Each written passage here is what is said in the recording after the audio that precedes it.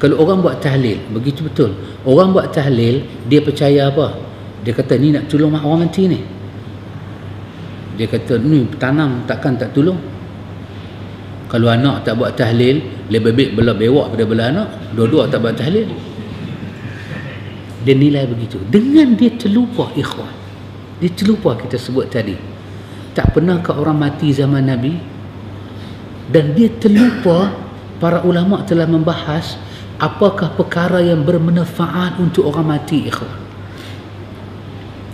Di dalam Al-Quran dalam ayat 10 daripada suratul hasyar Allah sebut perkara yang paling bermanfaat untuk si mati. Allah yang sebut sendiri. Allah yang sebut sendiri ikhwatul iman. Itu saya katakan tadi ikhwan maklumat itu tidak sampai dengan betul Imam Ibn Kathir dalam tafsir Ibn Kathir dia kata wa min hazihi al-ayatul karimah azimah. Daripada ayat 10 al-hasyar ini yang mulia ini telah ijma' para ulama. Perkara ini sangat menolong si mati. Allah Ta'ala firmankan walladzina ja'u min ba'dihim yaquluna rabbana ighfir lana wa li ikhwanina alladhina sabaquna bil iman ولا تجعل في قلوبنا غلا للذين آمنوا ربنا إنك رؤوف رحيم الله أكبر orang kita tak tahu apa dan orang-orang yang datang setelah mereka itu orang beriman generasi pertama mereka mati datang orang beriman generasi kedua mereka ini datang mereka ini berdoa kepada Allah mereka kata ya wahai Tuhan kami ampunkanlah saudara-saudara kami yang mereka dah mati sekarang. Mereka beriman lebih awal kepada hang daripada kami. Ya Allah ampunkanlah dosa mereka. Orang beriman mendoakan orang beriman yang telah mati. Ya Allah janganlah ada dalam hati kami cemburu kepada mereka. Mereka saudara kami yang dah mati dah buat dah ibadah pada hang. Ya Allah hang ampunkanlah dosa mereka ya Allah. Sesungguhnya engkau ini ghafurur rahim Ibnu Kathir kata berdasarkan ayat ini Allah mengajak orang beriman mendoakan orang beriman yang telah mati. Sampai lebih cepat daripada kilat. Allahu Akbar. Kan ada doa? Allahumma ghafir lahu warhamhu wa'afihi wa'fu anhu wa akrim nuzulahu wa wasi' madkhalahu waghsilhu bil ma'i salji wal barad ya Allah ampunlah dosa si mati. Dosa mana? Dosa seluruh hidup dia. Tak semayang tak dedah dedah aurat dosa itulah. Maka rasuah semua dosa itulah.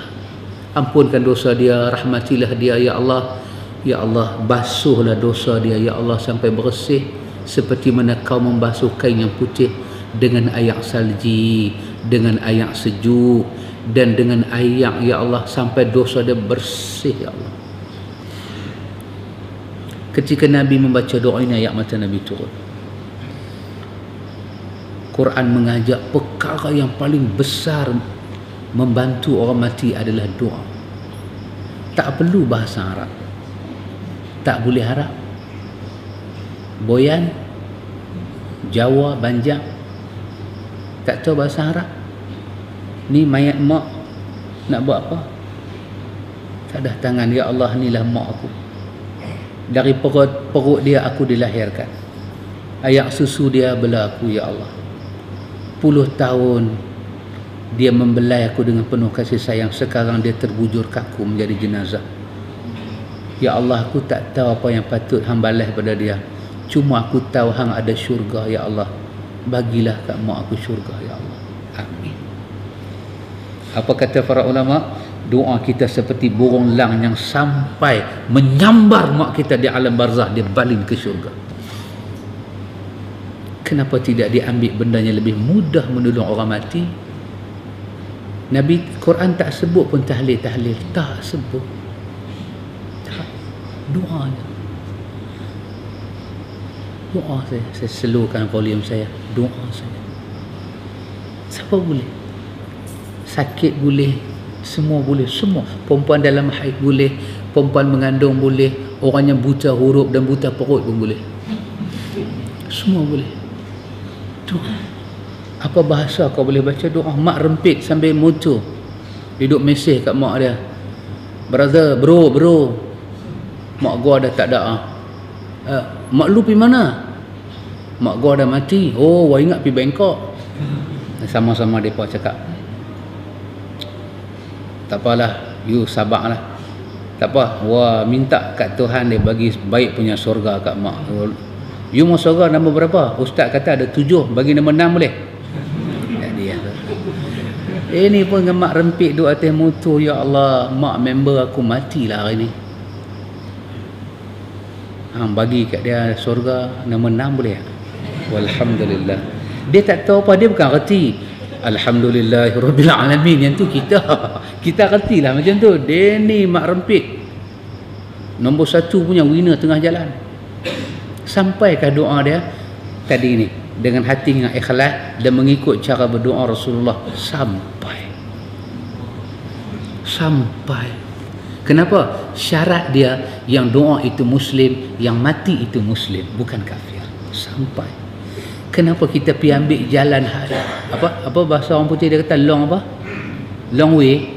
No long way. Very long. Oh night long. Begitu jauh. Yang dekat dok dah tak ambil. Lepas tu dah lah buat begitu. Kita pula ada satu satu perkara yang sangat tidak baik. Kita tak sesiapa yang baca doa je kat mak dia tanpa ratik-ratik dia tak sayang langsung kat mak dia. Subhanallah ucapan itu perlu beristighfar kerana dalil dia Quran. Dalil dia Quran. Maka salah satu sebab dia ikhwan saya merasakan kerana maklumat itu tak sampai. Satu. Lagi satu. Dalam hadis yang diriwayatkan daripada Imam Imam Abi Dawud dalam Sunan Abi Dawud dalam Sahih Sunan Abi Dawud benda kita tak tahu ikhwan. Kita tak tahu. Kita tak tahu. Apa dia? Nabi kata Nabi kata ma atyabu akala rajulu min kasbihi. Hadis ni hadis sahih. Nabi kata kamu tahu tak makanan apa yang paling baik kamu makan? Kamu makan benda daripada titik peluh kamu. Ha, itu paling best. Kita kerja-kerja dapat duit kan? Ha, kita beli dengan duit kita untuk diri kita dan kita beli untuk orang yang kita kasih.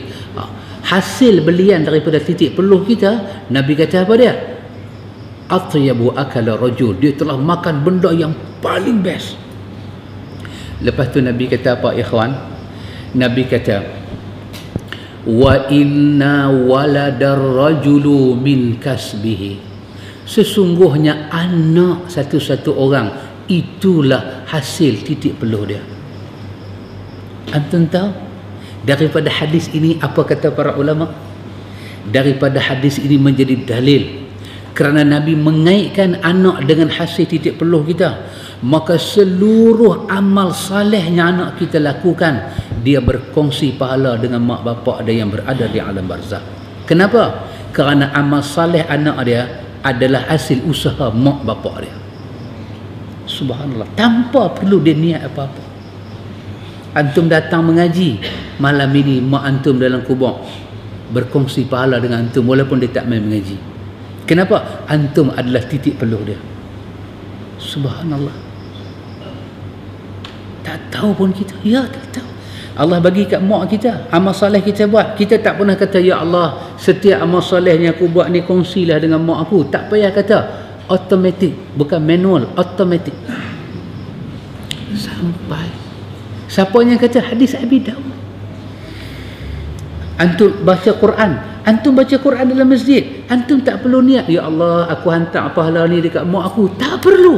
Antum baca saja. Antum anak dia Uri dia Benih dia. Banyak mananya antum dapat Banyak tu dia sedang kongsi di alam kubur. Subhanallah. Betapa luas rahmat Allah Untuk orang hidup dan orang mati. Kesemuanya berpunca Kita tidak mengenal sunnah Nabi yang indah Maka kerana tak tahu kita membikin-bikin Pasal itu Nabi kata iyyakum wal bid'ah. Hati-hati dengan bid'ah. Patutlah tempat dia di neraka. Dia sekat perkembangan sunnah. Hak Nabi ajak tu orang tak tahu wahai besar rahmat ikhwan. Besar rahmat. itu di antara fasal dia jadi salahlah kalau tak buat ratik-ratik ni tak sayang mak bapak sebenarnya tak buat itu lebih sayang tapi jangan habaq ke orang lah rahsia kita lah rahsia umum nah wallahu a'lam